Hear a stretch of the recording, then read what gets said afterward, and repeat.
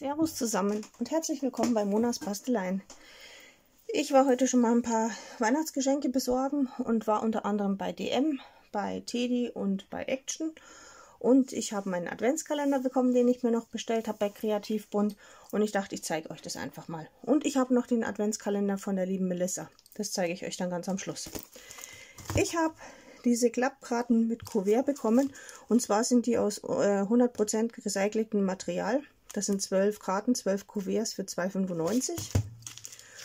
Und ich dachte, ich schaue einfach mal, ob die vielleicht besser sind wie die von Action. Ja, schauen auf jeden Fall besser aus. Schauen gar nicht so schlecht aus. Ich glaube, die sind sogar auch größer als die normalen Karten. Welche Größe haben die denn? Ähm, steht gar nichts. 17. Format 12 x 17. Ach, die sind größer als die normalen Karten. Na gut, dann weiß ich das. Die kosten auf jeden Fall 2,95. Dann habe ich noch mitgenommen, ich konnte nicht dran vorbeigehen, an diesem Geschenkband. Das fand ich richtig schön. Das hat gekostet 1,45 und das sind 4 Meter drauf. Genau, das fand ich richtig schön. Dann habe ich noch Geschenkband mitgenommen. Und zwar für 1,95. Da sind 4 mal 5 Meter drauf. In diesem Glitzer. Ich konnte nicht vergessen. Man kann das ja auch ähm, nicht nur als Geschenkband hernehmen, sondern auch auf Karten. Und das wollte ich mal ausprobieren, ob das funktioniert. Dann habe ich, ja, ich weiß, ich habe genug Washi Tape. Aber dieses Washi Tape ähm, kostet erstens 3,45. ist also teurer als das von Action. Und es ist kein gewöhnliches Washi Tape. Also das ist nicht nur glatt, sondern ich weiß gar nicht, ob ich es jetzt aufkriege. Ich kriege es gar nicht richtig auf. Seht ihr das? Das hat... Ne, seht ihr nicht. Mal schauen, ob ich es jetzt hier so ein bisschen abmachen kann. Hier sollte es abgehen. Und das fand ich richtig toll und das musste ich einfach mitnehmen. Das ist halt mal was Außergewöhnliches und aus dem Grund durfte das mit. Einmal hier in dem rosa Herzchen.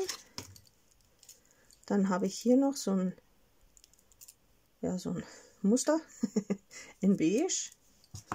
Dann habe ich hier so ein blaues. Das sind, ich glaube, Palmen oder Blumen. Nein, das sind nur die Stängel. Das sind nur die Stängel von den Blumen. Und hier sind, wo ist der Anfang? Da ist der Anfang. Na, das will nicht. Nein, vielleicht weiß nicht, ich könnte es sehen. Das sind Herzen auf jeden Fall. Äh, Sterne. Nicht Herzen, Sterne. Genau, deswegen durften die mit. Und da sind drinnen vier Stück mit jeweils fünf Meter. Und das wollte ich irgendwie auch mal auf Karten aufbringen. Ich freue mich nachher auf. Dann habe ich noch so kleine Stempel gesehen. Das ist so ein äh, Stempelset aus Holz. Da sind sieben Stempel drin und ein Stempelkissen. Und das fand ich recht interessant. Deswegen durfte das auch mit für 3,95. Und nachdem heute Nikolaus ist, habe ich mich mal selber beschenkt. Ah ja, das sind die Stempel drinnen. Das finde ich immer gut. Handmade. Fand ich cool mit einem kleinen äh, Stempelkissen.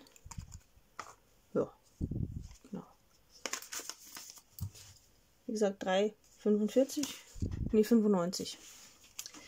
Dann hatten sie ganz neu einen Kleberoller. Mal schauen, ob ich das irgendwo aufkriege. Ohne die Schachtel gleich zu ramponieren. Nee, da muss man die ganze Schachtel aufmachen. Und zwar ist da ein Kleberoller. Ja, hat Action auch. Aber der ist mit Nachfüllern. Und ähm, das wollte ich mal testen. So für Kleinigkeiten zum Kleben, weil vielleicht hält es besser. Oder, oder ja, hat mehr Lauflänge, weil das von Action, das reißt ja manchmal zwischendrin ab. Das finde ich jetzt nicht so toll. Ähm, das hier hat gekostet 2,25 Euro, der Kleberoller. Und die Nachfüller, glaube ich, 2,95 Euro. Genau, da habe ich zwei Stück mitgenommen. Das sind jeweils zwei Stück drinnen. Also habe ich vier Stück. Dann habe ich mir noch ähm, Duftöl mitgenommen. Ich wollte jetzt mir hier eine Duftlampe reinstellen, abends, wenn ich hier drinnen bin, mir ein bisschen muckelig machen. Und zwar einmal mit Orange und einmal Granatapfel. Und da hat das Öl gekostet mit 10 Milliliter 1,95 und durfte auch mit. So, dann war ich wie gesagt bei Teddy. Da habe ich mir noch mal so eine Schachtel mitgenommen. Die letzte, was ich mir mitgenommen hatte, war ja kaputt und die ist wieder kaputt. Das ist bestimmt die, was ich letztens zurückgegeben habe, weil die genau an der gleichen Stelle kaputt ist. Na gut, ich muss nächste Woche eh nochmal, dann tausche ich die um.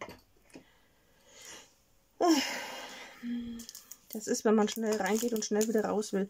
Dann habe ich mir dieses ähm, Lineal noch mitgenommen. Ich habe ja schon zwei. Eins in so einem kurzen und eins so ein viereckiges.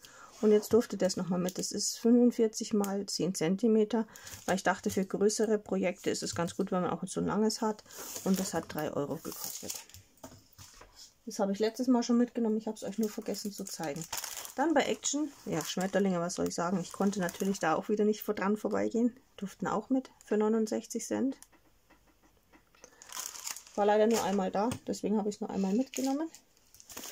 Dann habe ich hier ähm, in der Handwerkerabteilung so Boxen gesehen. Die fand ich recht interessant. Das sind zwei so kleine drinnen und eine große. Ähm, zwei Stück mit jeweils 12 mal 9 cm und eine mal 19 mal 16 cm. Und die haben jeweils so kleine Fächer, kosten 2,79 und ähm, ja, wie gesagt, mal schauen, was ich da rein tue. Aber es ist immer gut, so kleine Aufbewahrungsbehälter äh, zu haben und durften halt mit. Dann habe ich auch noch, weil da waren jetzt fast keine mehr drin, nur noch, ich glaube, drei oder vier Stück, durften die nochmal mit. Die zwölf Döschen in der, in der Box drinnen für 2,28 Euro. Dann habe ich diese äh, Buntstifte jetzt doch mitgenommen, weil mit denen kann man auf weißen und auf schwarzen äh, kolorieren. Und nachdem ich ja nächstes Mal ähm, für ein paar Wochen wegfahre, wie ich schon ein paar Mal erwähnt hatte, werden solche Sachen alle mitgehen. Und dann habe ich was zum, zu tun. Für 3,99 und das sind drinnen 36 Farben. Und Neonfarben, genau. Sind von Avec. genau. Dann habe ich diese Stanzen nochmal mitgenommen. Das waren ja die zwei, die was mir letztes Mal ähm, ja, was nicht funktioniert haben beim Ausstanzen. Ich hoffe, dass die jetzt funktionieren. Ansonsten bringe ich sie wieder mit, äh, wieder zurück. Und zwar ist es einmal die mit dem Meer und ähm, die mit dem Muster. Die fand ich richtig schön und ich hoffe, dass sie jetzt funktionieren. Und eine kostet 3,25 Euro. Ich habe jetzt keinen Preis drauf geschrieben, weil ich ja nicht weiß, ob ich es wieder zurückbringen muss. Dann habe ich von den Teelichtgläsern, die habe ich, glaube ich, bei der lieben Konstanze gesehen. Grüße gehen raus an dich. Und zwar ähm, habe ich mir auch überlegt, ob man die vielleicht mit so kleinen Mustern äh, beplotten könnte, mit Vinylfolie und dann für Weihnachten zu verschenken. Habe ich mitgenommen. Fünfmal. Dann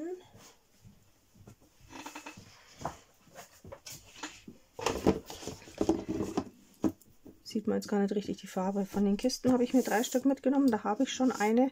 Und die sind so für Kleinkram zum Aufbewahren, finde ich die super. Ich weiß gar nicht, welche Größe. Ich muss gerade mal die nehmen, die kann ich umdrehen. Ähm, nee, steht nichts drauf. Steht nichts drauf, aber ich habe hier kann ich mal schnell messen. Die haben 35 mal so, jetzt geht's mal 25, genau. Und eine kostet 2,99. Dann habe ich nochmal, äh, nicht nochmal, sondern ich habe die sechste Farbe bekommen. Ich hatte ja letztens nur fünf. Und da ist jetzt das Rot mit drinnen. Genau, für 99 Cent. Dann, wie ihr sehen könnt, habe ich die Stempel auch alle endlich bekommen. Da warte ich auch schon länger drauf. Die werde ich auch alle abstempeln und ähm, dann kolorieren. Genau, da sind die acht Stück drin. Also der muss auf jeden Fall mit, weil Traumfänger mag ich auch total gerne. Dann haben wir hier den Panda-Bären. Schmetterlinge, ja, gehen bei mir auch immer. Dann haben wir den Kolibri, Blume, den Feierbär, Geburtstagsbär oder wie auch immer. Dann haben wir hier den, ist das ein Dachs? Ich glaube ja und den Blumentopf. Genau, das war jetzt mein Einkauf bei Action. Dann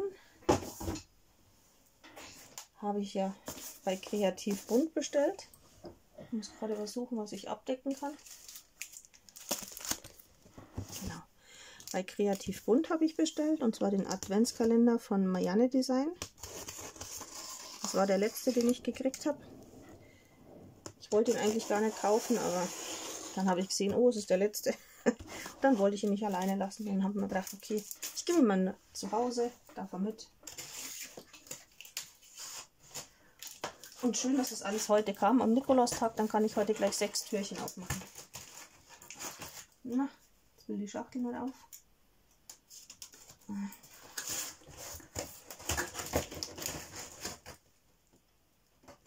hätte ich mal was hätte ich vorbereiten können.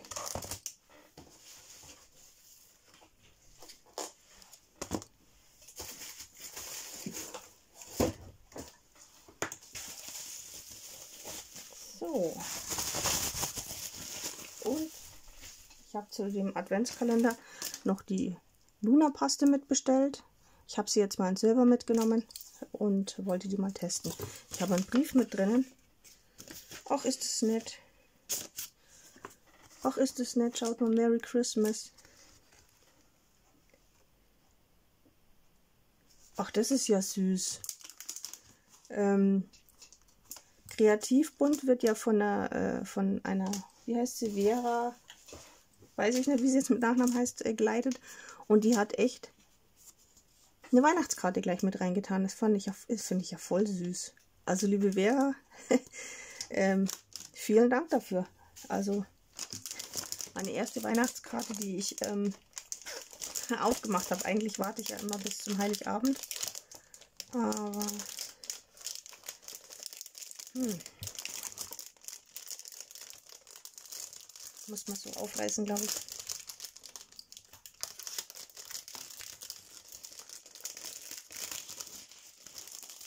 Weil ich habe nur einen Adventskalender. Das ist der von der lieben Melissa. Den zeige ich euch auch gleich noch meine zwei Türchen. Aha. Freue mich. Sechs Türchen. also, wir schauen mal, was im ersten Türchen ist.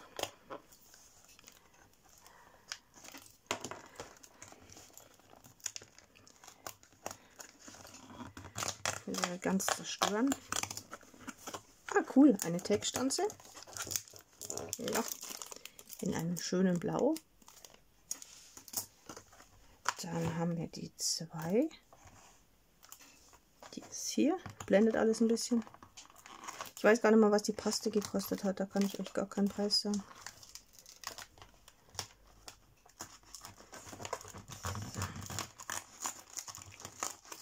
Die sind ja alle blau. Wie cool. Einen Weihnachtsbaum. In klein.